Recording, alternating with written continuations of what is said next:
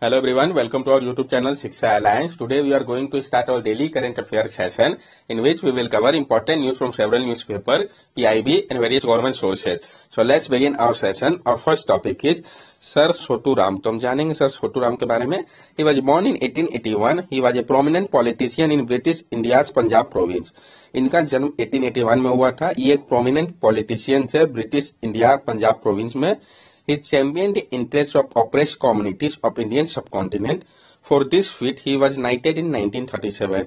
और उन्होंने चैंपियन किया था जो इंटरेस्ट था ऑपरेस कम्युनिटी के लिए इंडियन सब कॉन्टिनेंट का और इस फीट के लिए उनको नाइटेड किया गया 1937 में he was cofounder of the National Unionist Party और वो को फाउंडर थे नेशनल यूनियनिस्ट पार्टी के The enactment of two agrarian law was primarily due to his contribution, the Punjab Relief Indebtedness Act of 1934 and Punjab Debtor Protection Act of 1936, which emancipated the peasant from the clutches of money lender and restored the right of land to the tiller.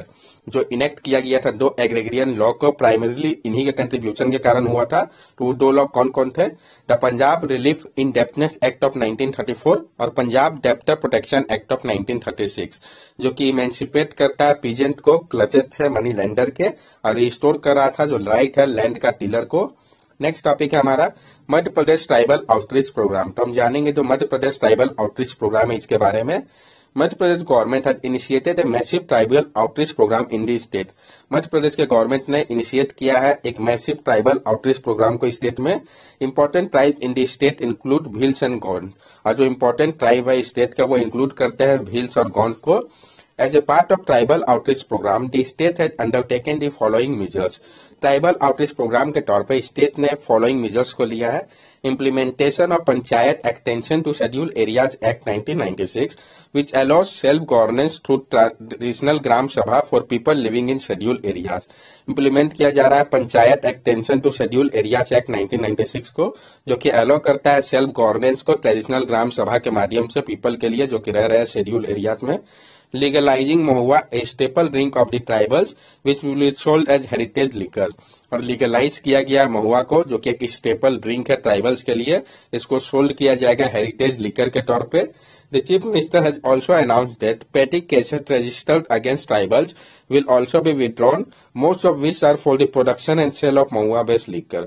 और जो chief minister है उन्होंने announce किया है जो पेटी cases है जो कि रजिस्टर किया गया है ट्राइबल्स के खिलाफ उसको भी विड्रॉ कर लिया जाएगा जिसमें ज़्यादातर जो है वो प्रोडक्शन और सेल से रिलेटेड है बेस्ड लिकर का Home delivery of food grain distributed under public distribution across all 89 tribal blocks has also been announced.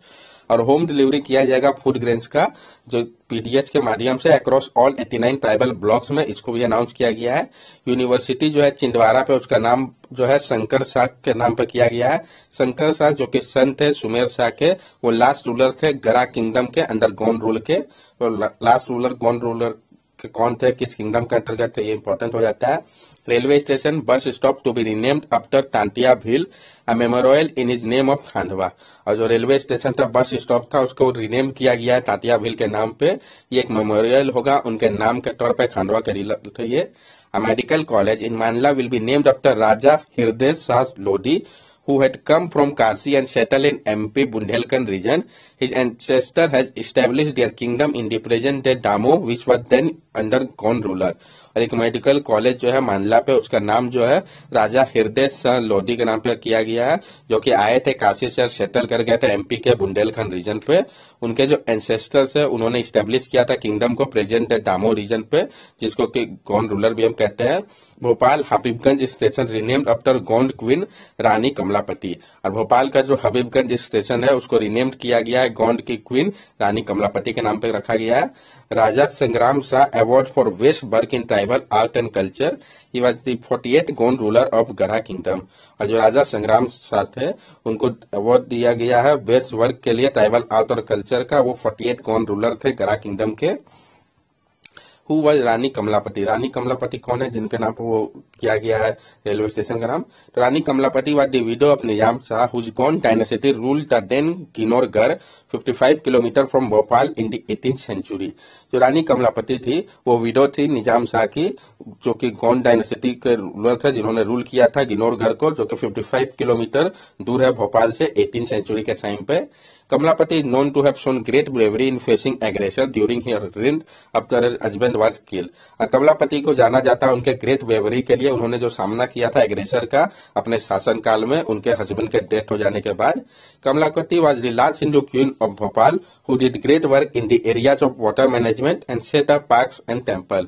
Kamlapati जो थी वो लास्ट हिंदू क्वीन थी भोपाल की जिन्होंने बहुत अच्छा काम किया था वाटर मैनेजमेंट के लिए और सेटअप किया था पार्क और टेंपल को भी नेक्स्ट टॉपिक है हमारा रीथिंक फॉर ईडब्ल्यूएस क्रिटेरिया तो रीथिंकिंग की बात चल रही है इकोनॉमिक विकल्प सेक्शन क्रिटेरिया को। जैसा क्यों कहा गया है, क्या है, सारा मैटर हम सब कुछ कंसीडर करेंगे। The union government has decided to revisit the criteria set out for eligibility for इस ten percent reservation under the economically weaker section category within a month union government है, उन्होंने डिसाइड किया कि वो रिविजिट करेंगे जो criteria set किया गया था एलिजिबिलिटी को लेकर टेन परसेंट रिजर्वेशन का इकोनॉमिकली वीकर सेक्शन कैटेगरी के लिए मंथ के अंदर ही। ये जो डिसीज़न आया है, वो सुप्रीम कोर्ट के क्लोजली क्वेश्चन के बाद आया है क्योंकि उन्होंने पूछा था इनकम फिगर को लेकर question Supreme Court is considering a case to the implementation of 27% reservation for the other backward class and 10% for the EWS under the all India quota for medical admission Supreme Court consider कर रहे थे जो case था implementation को लेकर 27 percent reservation का OBC के लिए और 10 परसेंट ईडब्ल्यूएस के लिए ऑल इंडिया कोटा पे मेडिकल एडमिशन का। हाउ वो ईडब्ल्यूएस रिजर्वेशन इंट्रोड्यूस किस तरीके से ईडब्ल्यूएस रिजर्वेशन को इंट्रोड्यूस किया गया था? Ten percent reservation was introduce through the one third constitutional amendment and enforce in January 2019 तो टेन परसेंट का रिजर्वेशन था, इसको इंट्रोड्यूस किया गया था वन थर्ड कॉन्स्टिट्यूशनल अमेंडमेंट के द्वारा, और इसको इन्फोर्स किया गया था जनवरी 2019 में। It added clause 6 to article 15 to empower the government to introduce special provision for the EWS among citizens except those in the class that already enjoy reservation.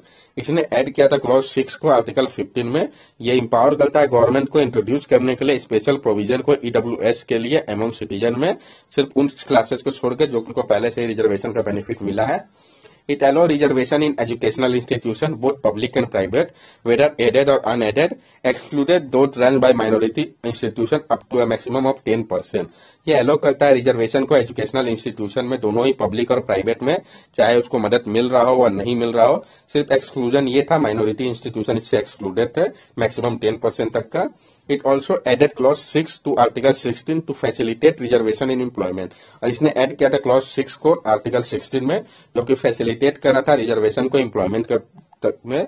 The new clause make it clear that EWS reservation will be in addition to the existing reservation जो नया clause add किया गया था यह clear कर दे रहा था जो ईडब्ल्यूएस रिजर्वेशन है, वो एडिशन होगा एग्जिस्टिंग रिजर्वेशन पे। सिग्निफिकेंस ऑफ़ कोटा क्या सिग्निफिकेंस था कोटा का the constitution initially allowed special provision only for socially and educationally backward classes constitution ने इनिशियली अलाउड किया था स्पेशल प्रोविज़न को सोशियली और एजुकेशनली बैकवर्ड क्लासेस के लिए गवर्नमेंट ने इंट्रोड्यूस किया जो कॉन्सेप्ट है ईडब्ल्यूएस का new class of affirmative action programme के तौर पर जो कि नहीं कवर्ड है या एलिजिबल है कम्युनिटी बेस्ड कोटा के लिए उनके लिए क्रिटेरिया क्या था आइडेंटिफाई करने के लिए सेक्शन को तो जो मेन क्रिटेरिया था वो तथा एनुअल इनकम लिमिट होना चाहिए एट लाख का उसको जो एक्सक्लूड कर दिया गया था, ये एक सबसे बड़ा क्रिटेरिया था। ये जो है अकाउंट करा इनकम को सारे सोर्सेस है जैसे कि सैलरी हो गया बिज़नेस हो गया एग्रीकल्चर हो गया प्रोफेशन हो गया फाइनेंशियल ईयर का एप्लीकेशन से पहले फैमिली के एप्लीकेंट के और उनके पेरेंट्स सिबलिंग और माइनर चिल्ड्रन के लिए। Possession of any of this asset to can take a personal outside the EWS pool और जो पोसेशन है, इनमें से किसी भी टाइप के एसेट का, उस पर्सन का उसको भी आउटसाइड रखा गया था ईडब्ल्यूएस के पुल से। यानी फाइव और मोर एकड़ ऑफ़ एग्रीकल्चर लैंड उसके पास नहीं होना चाहिए। Residence flat of one thousand square feet and above यानी रेसिडेंस फ्लैट जो है वन थाउज़ेंड स्क्वायर फीट या उससे अधिक का नहीं होना चाहिए। Residential plot hundred square yard या उससे अबव का नोटिफाइड म्यूनिसिपैलिटी पे। रेसिडेंशियल प्लॉट जो है टू हंड्रेड स्क्वायर यार्ड व उससे अधिक का। What are court question about this criteria court ने क्या क्वेश्चन किया इस क्रिटेरिया को लेकर तो reduction within general category court का कहना है, जो रिडक्शन हुआ जनरल कैटेगरी के अंदर ईडब्ल्यू एच क्वेटा जो है वो कॉन्ट्रोवर्सी है, क्योंकि क्रिटिक्स का मानना है कि ये रिड्यूस कर रहा है, जो साइज़ है ओपन कैटेगरी का साथ साथ ब्रिज कर रहा है, जो फिफ्टी परसेंट का लिमिट था टोटल रिजर्वेशन पे। Arbitrariness over income limit court का कहना है कि ये जो इंट्यूब कर रहा है इनकम लिमिट को, जिसको कि फिक्स किया गया है एट लाख पर ईयर का, ये सेम फिगर है जो कि एक्सक्लूड करता है क्रीमी लेयर को ओबीसी के रिजर्वेशन बेनिफिट से। क्योंकि ओबीसी में क्रीमी नॉन क्रीमी लेयर है तो जो क्रीमी लेयर है, उसको तो बेनिफिट नहीं मिल रहा है। लेकिन वही सेम फिगर का अमाउंट होने के बाद, लेकिन ईडब्ल्यू में बेनिफिट मिल रहा है। ये फिर ओबीसी के साथ डिस्क्रिमिनेशन हो जाएगा, अगर आप देखोगे वैसे तो। Socio-economic backwardness.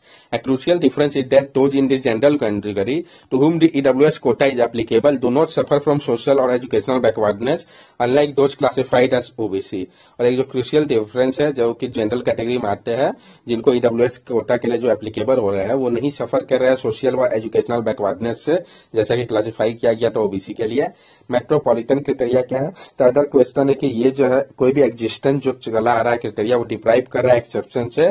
इसलिए ये जो फ्लैट क्रिटेरिया है, ये डिफ्रेंशिएट करता है मेट्रोपॉलिटन और नॉन मेट्रोपॉलिटन एरिया को ओबीसी लाइक क्रिटेरिया यहाँ पे कोर्ट ने क्वेश्चन किया है कि जब ओबीसी कैटेगरी जो है, वो सोशली और एजुकेशनली बैकवर्ड के लिए है तो फिर एडिशनल इम्प्लीमेंटेशन क्यों किया गया है not based on relevant data ये जो है रिलीवेंट डाटा पर बेस्ड नहीं है, जो ईडब्ल्यूएस को तैयार किया गया है।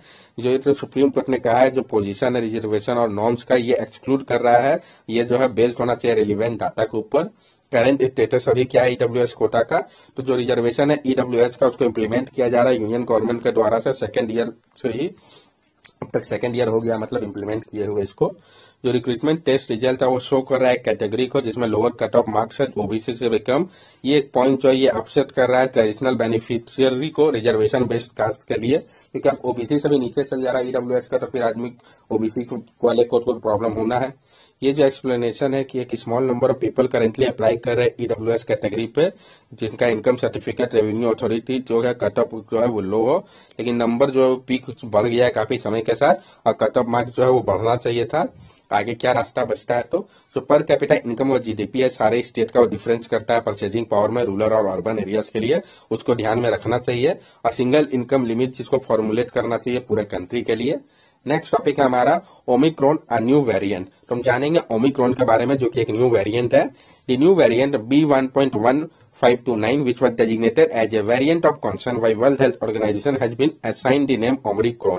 जो नया वेरिएंट अभी 11529 जिसको डेजिग्नेट किया गया है, एक वेरिएंट ऑफ़ कॉन्सर्न के तौर पे वर्ल्ड हेल्थ ऑर्गेनाइजेशन के द्वारा इसको नाम दिया गया है ओमिक्रॉन के तौर पे। तो ओमिक्रॉन क्या है? तो ये कोविड का ही एक वेरिएंट है। रिपोर्ट पब्लिक हेल्थ ऑफिशियल के द्वारा साउथ अफ्रीका के द्वारा से आया है कि जो न्यू वेरिएंट है, इसने ट्रिगर कर दिया बहुत ज़्यादा कंसर्न पूरे विश्व के लिए और काफ़ी ज़्यादा रिसर्जेंस हुआ है कोविड इन्फेक्शन का। और अब तो इसको आप देख सकते हैं कि बहुत सारे कंट्रीज़ में ये फैल चुका है। How different it is from original virus किस तरीके से ये डिफरेंट है ओरिजिनल वायरस से? B one one five two nine has more than two times the number of bad spike mutation than the delta variant The new variant has an extremely high 32 worrisome mutation in the spike protein, which is real concern than the delta virus. जो B one one five two nine है, उसमें दो गुना अधिक number है bad spike mutation का delta variant के comparison में। और हम डेल्टा को इतना खतरनाक मान रहे थे, उससे ये दो गुना अधिक है। तो आप समझ लीजिए कितना ज़्यादा ये खतरनाक हो गया। और जो नया वेरियंट है, उसमें बहुत ज़्यादा थर्टी टू म्यूटेशन को देखा गया स्पाइक प्रोटीन पे, जो कि एक चिंता का विषय है डेल्टा वेरियंट के कंपेरिजन पे। W WHO currently list five variant of concern WHO ने करेंटली लिस्ट किया अभी तक पाँच वेरियंट ऑफ़ कंसर्न को। उसमें आपका अभी जो रिसेंटली है, वो ओमिक्रोन है B one one five two nine जिसको आइडेंटिफाई किया गया साउथ अफ्रीका पे नवंबर 2021 पे डेल्टा जो कि B one six one seven two था, जो कि इमर्स किया था इंडिया पे लेट 2020 पर स्प्रेड किया था पूरे वर्ल्ड पे गामा जिसको पी वन कहते हैं, जो कि इमर्स किया था ब्राज़ील पे लेट 2020 पे बेटा जो कि इमर्स किया था साउथ अफ्रीका पे अर्ली 2020 पे, और अल्फ़ा जो कि इमर्स किया था ब्रिटेन पे लेट 2020 पे। वेरिएंट ऑफ़ इंटरेस्ट क्या है? तो ये करेंटली दो टाइप के होते हैं। M U B one six two one जो कि इमर्स किया था कोलंबिया पे अर्ली 2021 पे, और लैमडा सी थर्टी सेवन जो कि इमर्स किया था पेरू पे लेट 2020 पे। Variant of interest and variant of concern के बारे में हम जान ले। तो SARS CoV two variant of interest जो है, वो सार कोप टू का ही एक वेरियंट है। इसमें जेनेटिक चेंजेस जो है, जो कि प्रिडिक्टेड होते हैं, उनको हम जानते हैं कि अफेक्ट करते हैं वायरस के करेक्टरिस्टिक को। जैसे कि ट्रांसमिसिबिलिटी हो गया डिज़ीज़ सिवियरिटी हो गया इम्यून स्केप हो गया डायग्नोस्टिक और थ्योरोपेटिक स्केप हो गया। और ये जो है आइडेंटिफाई किए जाते हैं काउजिंग सिग्निफिकेंस कम्युनिटी ट्रांसमिशन या मल्टीपल कोविड 19 क्लस्टर के माध्यम से मल्टीपल कंट्रीज़ में, जहाँ पे इंक्रीज होता है relative prevalence alongside increasing number of cases के साथ, समय के साथ। और जो एपिरेंट एपिडेमोलॉजिकल इम्पैक्ट है, ये सजेस्ट करता है एमेजिक रिस्क को ग्लोबल पब्लिक हेल्थ के लिए भी। A SARS CoV two VOC is a SARS-CoV-2 variant that meets the definition of a VOI and through a comparative assessment has been demonstrated to be associated with one or more of the following changes at a degree of global public health significance. जो SARS CoV two variant of concern है ये SAARC CoV two variant है जो कि पूरा करता है definition को वेरियंट ऑफ़ इंटेंस का। और ये कंपेरेटिव असेसमेंट होता है जो कि डिमोन्स्ट्रेट किया जाता है एसोसिएशन के साथ एक या एक से अधिक फॉलोइंग चेंजेस के द्वारा। Degree of global public health significance के तो वो क्या है? ये इंक्रीज कर देता है इसके ट्रांसमिटिबिलिटी को व डेट्रीमेंटल चेंज को कोविड नाइन्टीन एपिडेमोलॉजी का।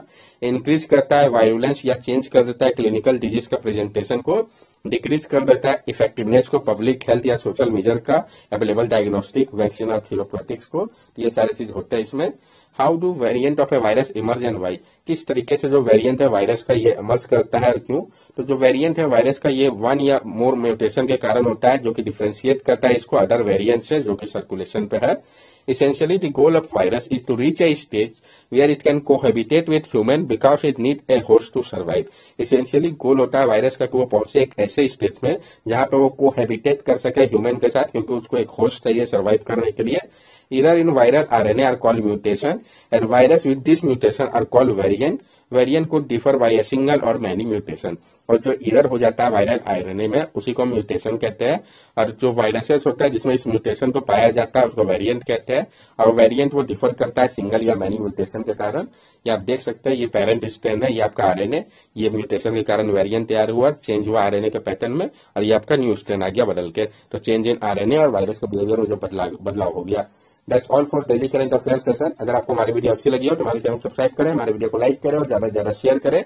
This are our social media link from here also you can stay connected with us and give us your valuable feedback thank you and have nice day